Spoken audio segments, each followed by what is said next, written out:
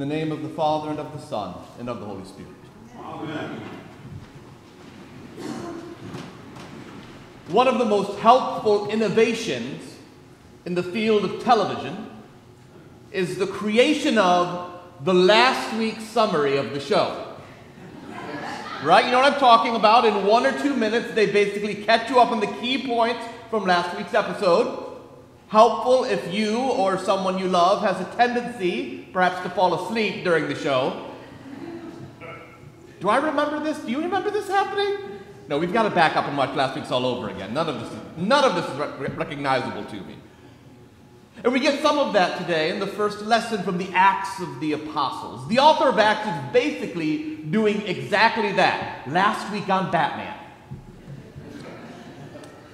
Now, the Acts of the Apostles is, of course, the sequel to the Gospel of Luke, with both books written by Luke the physician. For those who came to the Ascension of Christ service this past Thursday evening, all 12 of you, you heard the story of, I'm not judging, it's fine, it's fine. Those people heard the story of the ascension of Christ into heaven from Luke's Gospel. Jesus opened the minds of the disciples to understand the scriptures. He told them how his suffering, death, and resurrection was so that the message of God's forgiveness could spread through all the earth, to all nations beginning right there in Jerusalem. He told them that they were witnesses to all of this and that soon they would receive power from on high to do this work.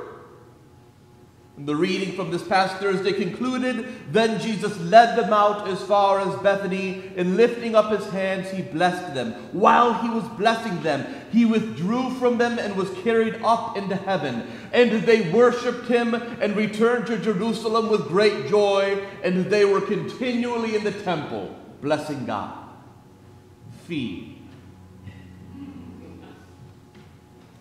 The sequel to the Gospel of Luke, Acts of the Apostles, then begins Acts chapter 1, verse 1.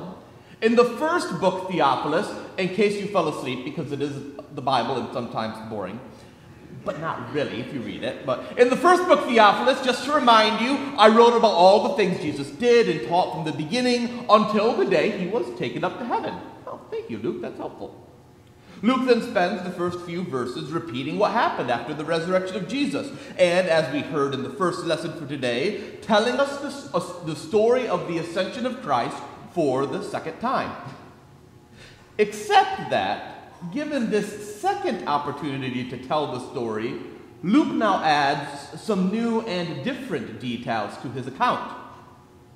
At the beginning of Acts, right before our reading actually began, Luke reiterated how Jesus told them to remain in Jerusalem to receive power through the Holy Spirit, the event we now know and celebrate as Pentecost next week, right? But he says more.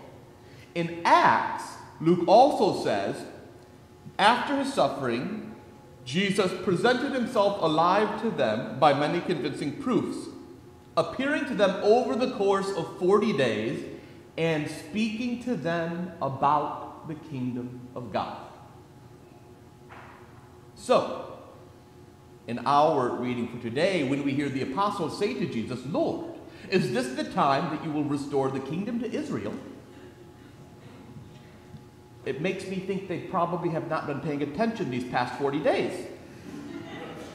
It's clear that they still don't understand what kind of a kingdom Jesus is bringing about, despite their three years of ministry with Jesus, despite 40 days of the resurrected Christ teaching them quite literally about the kingdom of God, they still think they're going to get the earthly kingdom. Jesus redirects them for what must be the hundredth time. You know, I wonder, being fully God, does this mean that Jesus did not face palm when his disciples would ask questions like this? Could he resist? I don't know. Jesus says it's not for you to know the times or periods that the Father set by his own authority. Jesus then reiterates to them that what they need is the gift of the Holy Spirit, that this is what will make them witnesses to what he is doing, witnesses who will go out to the ends of the earth, not just Israel, our own people. Now, of course, it's tempting to join Jesus in a face palm when the apostles ask this question. I think we should resist. After all, who can blame you? For centuries, Judaism had believed that this is precisely what the Messiah would do. The Messiah would come and restore the Davidic monarchy, casting off the bonds of oppression by geopolitical empires, finally making the Jewish people into a fully free and independent kingdom. A kingdom that perfectly worshiped God, that ordered its society around the commands of Torah for justice and peace for all people. That's the whole point of the Messiah. At least they thought it was. And as Jesus said once at another point in the Gospels, it's important not to point out the speck of sawdust in your neighbor's eye when you have a whole plank of wood sticking out of your own. Because throughout history, the church has thought that what it needs is the kingdom given back to it, the power of empire and authority at its beck and call. And that temptation, that temptation to, relent, to wed your religious ideals to the power of the state still persists. We see it in our own time in the Christian nationalist movement here in the United States, where some political and religious leaders insist that the United States was founded solely as a Christian nation. They say Judeo Christian nation, but they don't seem to like Jewish people very much, so I don't think they really know what Judeo means. They insist that the laws of the country should follow the teachings of the Bible. Well, no, that's not right either. It should follow their understanding of the teachings of the Bible, not recognizing that people like you and me or anyone else out there might read the Bible a little differently than them. But still, in the Christian nationalist movement, the goal of the church should be to re Christianize this country according to what we think that means, to restore it to what we think its founding principles were, to, and to cast out and defeat anyone or anything that is contrary to their supposed holy aims. One of the profound difficulties with this movement, other than its complete misreading of the history of the formation of our country, the actual principles of the Constitution upon which it was founded, let's just leave that aside. One of the profound difficulties is that it also tends to blend rather sinisterly with white nationalism.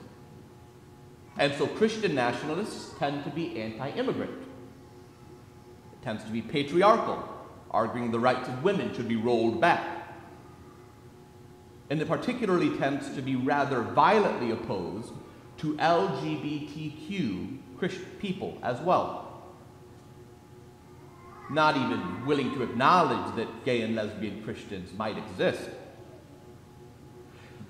This is one of the reasons why Christian nationalism has been labeled as one of the most dangerous threats of domestic terrorism facing our country. It's one of the reasons why the FBI reports that over the past three years, since 2020, hate crimes against minorities have increased across the board 50%. The largest increase was in hate crimes against Asian people, up 167% in three years. Asian people who, who fit the white nationalist framework as a scapegoat for the pandemic. But the next highest group were LGBTQ people, who saw violent hate crimes against them increase 70% in the past three years alone. Words have consequences. And those consequences can be deadly. Now, with many of you, I weep at this reality, quite literally. But this reality is also why some people right here at St. John's are now frightened to serve at the Pride Worship Service we're hosting on Saturday, June 10th at Waterfront Stadium a worship service on June 10th that will be right before the first ever Pride Festival in Grand Haven. Just this past week, we had someone write into the office saying they didn't feel safe to come and serve, so they were just going to stay home. Now, just like during the days of the pandemic when danger is real, we honor the decision of each individual to do what feels best and safe for them. Absolutely. We do that because we know that while some people will feel like it's safest to stay home, that that's the best decision for them on that day, we also know other people will sign up at the parish information table today and in the weeks to come to go down to Waterfront Stadium to stand with the gay and lesbian members of our community, the Tri Cities, West Michigan, to stay with the gay and lesbian members of our own church who should be able to worship without fear.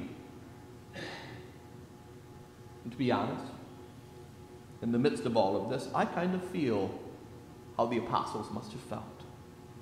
If I was there on the Mount of Bethany with Jesus, if he was standing here today, I might say the same thing Lord, when? When? Is this the time you'll restore the kingdom? Not to Israel or, of course, not to America, but is this the time, O oh Lord, when you will restore God's kingdom? When you'll finally bring safety and peace and justice to all people in the earth so that the wolf can lie down with the lamb, the little child can lead us safely.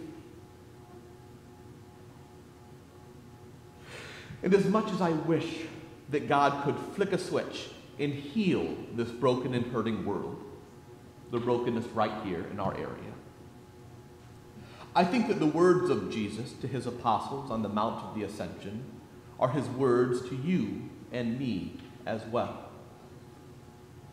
Because in the midst of their anxiety and fearful hope, he tells them two very important things.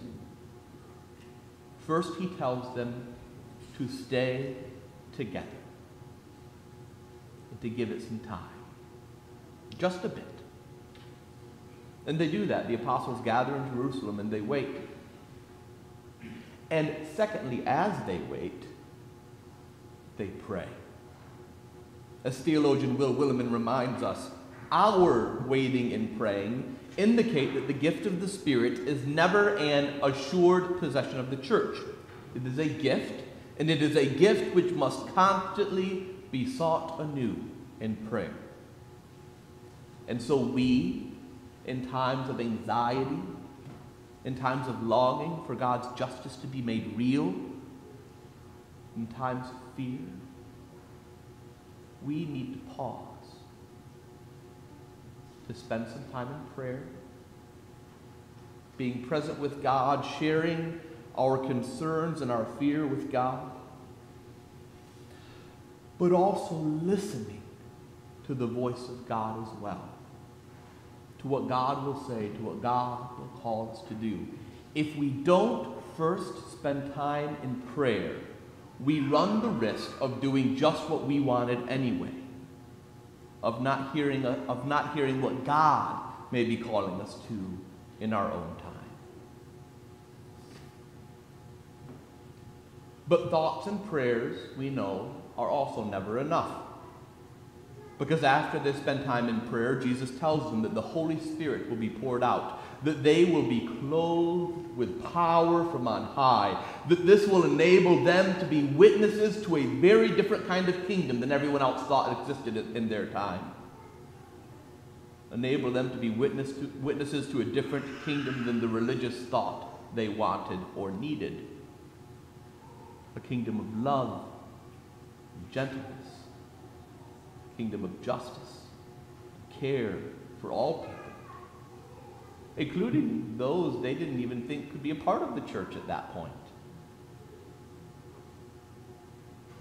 And so we must know as well that we do not walk out into this broken world on our own.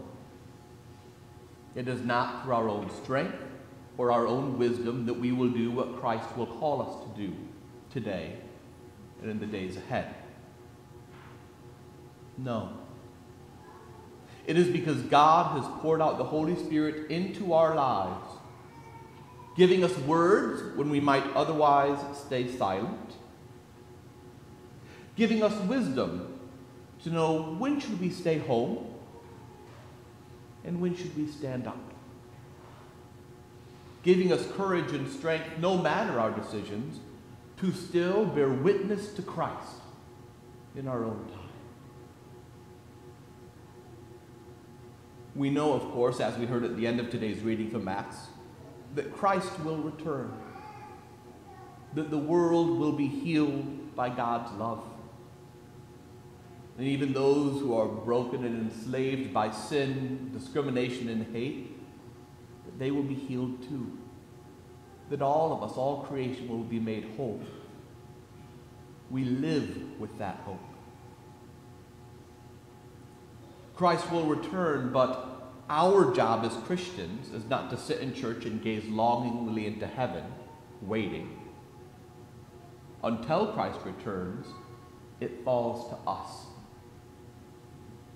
Centered in prayer, empowered by the Holy Spirit, it falls to us to be witnesses to Jesus' words and actions in the world, to what Jesus would do, what Jesus would say, who Jesus would love. It falls to us to be witnesses to this in our country, in our county,